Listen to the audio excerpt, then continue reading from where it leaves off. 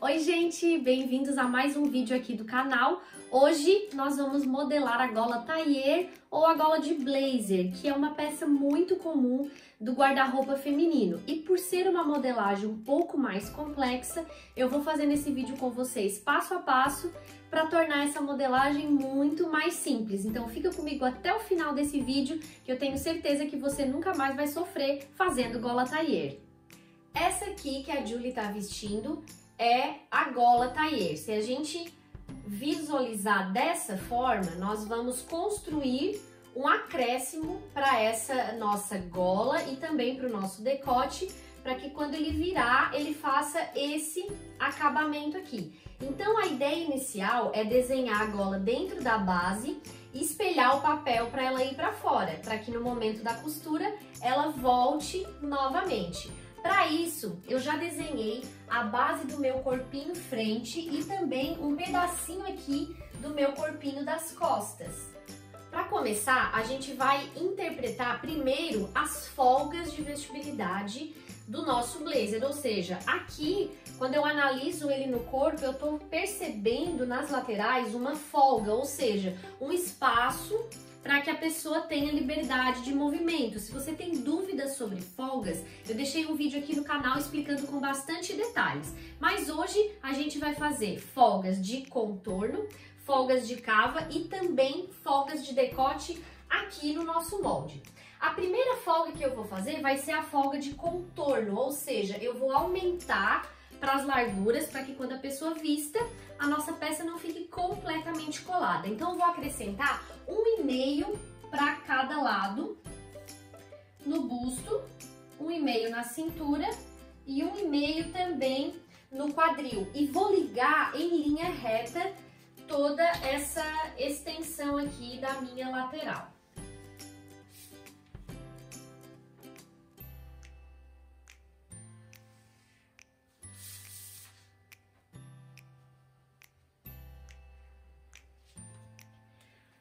Feita a folga de contorno, eu vou fazer a folga de cava, ou seja, eu vou abaixar um pouco a minha folga para a pessoa ter mais liberdade de movimento com os braços. Então, eu não vou deixar a minha cava tão ajustada.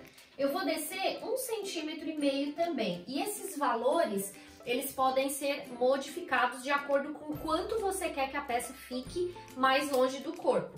Desci, eu vou posicionar a minha régua de curva dessa forma e aí eu retraço a minha cava morrendo em zero aqui na região do centro da cava. A gente também pode aumentar no ombro para ele ficar deslocado um pouco para baixo. A gente pode subir no ombro para que a gente consiga colocar uma ombreira ou aumentar a cava para que ele fique mais longe aqui da cava do nosso corpo.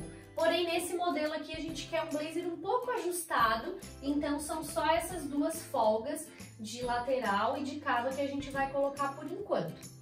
Agora nós vamos fazer as folgas do decote, ou seja, eu vou alargar o meu decote da frente e também alargar o meu decote das costas. Por isso, eu desenhei ele aqui nesse cantinho superior. A gente precisa da folga no decote das costas para poder medir esse decote, que é onde a nossa gola vai ser costurada.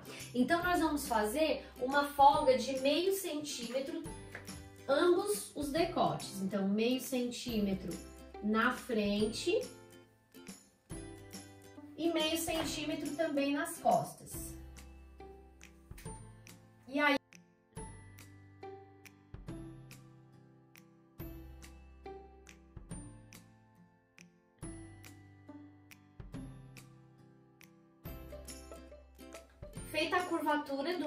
decote, eu vou tirar a medida desse decote das costas e vou deixar anotado esse valor, porque eu vou precisar desse valor no momento de traçar a outra parte da minha gola. Então, a gente vai tirar essa medida com a fita métrica em pé, dessa forma, e vamos andando com a fita e tirando a medida. Aqui eu encontrei 8 centímetros, então eu anoto ali 8, porque daqui a pouco eu já vou precisar dessa informação.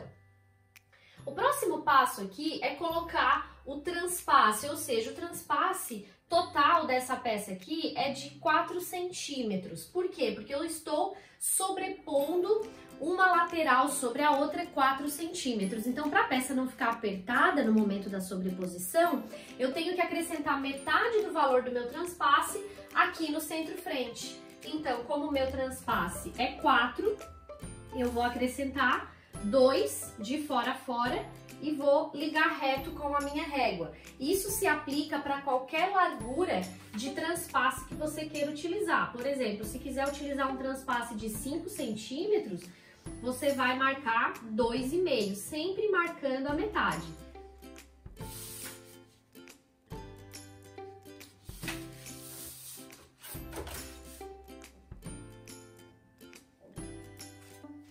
Agora, próximo passo é encontrar, definir o comprimento, ou seja, a altura do meu primeiro botão. Porque a altura do meu primeiro botão é que determina o tamanho do meu decote. Então, por exemplo, esse meu primeiro botão aqui, ele tá bem na direção da minha linha do busto. Digamos que se eu quisesse o meu botão aqui, eu vinha aqui e desenhava ele na linha do busto. Mas eu quero uh, uma medida maior, eu quero um decote um pouquinho mais profundo. Então, nesse caso aqui, eu venho com a minha fita e defino a medida que eu quero. Vou colocar 23 centímetros, aqui vai ser o meu botão. Mas eu vou marcar um centímetro acima do meu primeiro botão, para que seja a, a posição da dobra da minha gola. E agora eu vou estender o meu ombro para frente, prolongando ele 3 centímetros. E vou marcar aqui, ó, 3 centímetros, a partir do alargamento do meu decote, 3. E vou ligar reto da altura lá do meu primeiro botão, partindo do 1 centímetro acima, passando pelo 3 centímetros e subindo. Esse valor que eu subi aqui vai ser a construção da minha gola. Então, eu vou pegar 8 centímetros, que foi essa medida aqui que eu encontrei no meu decote das costas, e vou marcar aqui. Marquei 8 centímetros, vou esquadrar esse pedacinho, vou marcar 2 centímetros e vou fazer uma curvinha suave aqui para dentro. Essa estrutura aqui é que vai dar suporte para a construção da minha gola, que eu vou começar agora. Agora, para desenhar a minha gola, eu vou pegar uma canetinha diferente para não confundir tantos traços. O primeiro passo é marcar 3 centímetros para baixo, a partir também do alargamento aqui do meu decote. 9 centímetros na linha da pence, que é uma altura sugerida aí da parte superior da nossa gola e 2 centímetros para dentro. Com esse 2 centímetros para dentro, eu já posso traçar a parte de baixo, que seria essa parte aqui da minha gola. Observem que eu estou traçando dentro do corpinho, ou seja, eu estou traçando aqui em cima, porque depois eu vou virar, eu vou, no ato de costurar, eu vou espelhar essa minha gola para frente. Feito aqui esse desenho inicial, eu vou ligar até lá no decote, até na pontinha lá do meu decote. Simplesmente ligar, sem medida nenhuma. E agora, eu vou desenhar a gola na parte de cima, ó. Se a gente visualizar, aqui tem um valor e aqui tem outro. Então, eu vou definir os valores que eu quero. Nesse caso aqui, eu defino que eu quero 3 centímetros para cá e mais 3 centímetros para cima, mas esse valor pode ser de acordo com o desenho da gola que vocês quiserem fazer. E aí eu completo a minha gola dessa forma aqui. Então, eu finalizei o desenho da minha gola, ou seja, eu já sei qual é a aparência que a minha gola de blazer vai ter.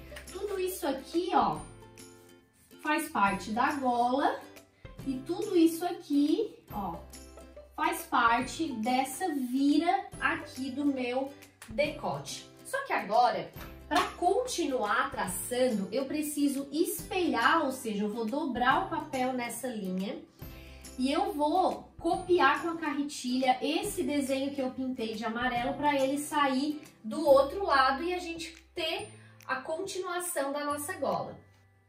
Copiei com a carretilha a minha gola para o outro lado e marquei alguns pontos que agora eu vou tracejar aqui, eu vou ligar em linha reta. Então, esse aqui é o desenho da gola, que faz essa abertura aqui, igual desse lado e que liga reto até um centímetro acima do primeiro botão, igual a esse lado.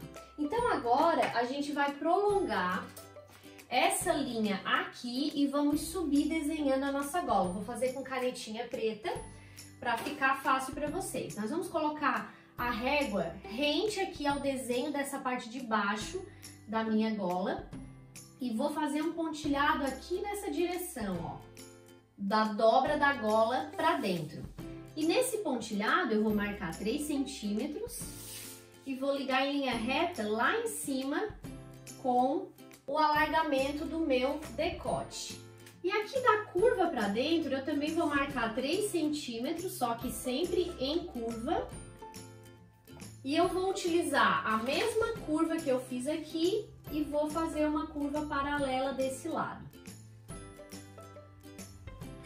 Aqui nessa minha curva agora, eu vou marcar a mesma medida de decote costas que eu medi lá atrás, só que com a fita métrica fazendo curva. Então, vou medir os mesmos 8 centímetros que deu aqui. E nesse ponto, eu vou esquadrar. Percebam que eu coloco meu esquadro no início da minha curva, que é para o meio da gola não dar um bico. E assim, eu prolongo essa linha para o lado de lá. Agora, eu meço novamente 3 centímetros aqui e deixo marcado e pego esse valor aqui, que eu vou chamar de valor de Y, aqui deu 6 centímetros, e vou colocar lá em cima. E por último, é só ligar em linha curva que a nossa gola vai estar pronta.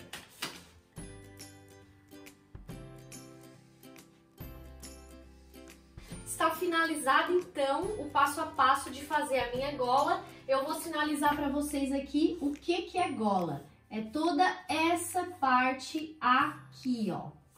Tudo isso aqui até aqui, tem que ligar reto aqui também. Isso tudo aqui é a minha gola. O que sobrou aqui para baixo é o meu corpo, tá? Então, o que, que eu vou fazer com esse corpo? Nesse caso, desse meu blazer aqui do exemplo, eu transformei essa pence em recorte, que tem mais detalhes lá no vídeo como fazer transportes de pence. Basta a gente esquadrar o final aqui da minha pence até na linha do quadril e aí separar tudo que tiver da pence pro lado de lá é o centro frente, tudo que tiver da pence pro lado de cá é a lateral. E esse meio aqui, ó, ele vai fora. Quando a gente costurar, ele vai fazer perfeitamente o movimento, né, o volume do seio. Então aqui está pronto, passo a passo de como fazer a gola tailleur. É preciso agora apenas fazer as cópias separando lateral, centro e gola e também separando as partes das costas, colocando as folgas, interpretando o restante do modelo e aí inserir costura, modelar bolsos, modelar forro, mas esse aqui é o passo a passo principal para fazer essa peça tão linda. Espero que vocês tenham gostado desse vídeo, entendido passo a passo. Se tiverem dúvidas, pausem o vídeo, pensem um pouquinho, assistam novamente que eu tenho certeza que todos vocês vão conseguir. E depois deixa para mim nos comentários se vocês realmente modelaram, se tiveram dificuldades e se costuraram, me mostrem lá no Instagram da Modele como ficou o resultado. Espero que tenham gostado, um beijo e até o próximo vídeo. Tchau, tchau!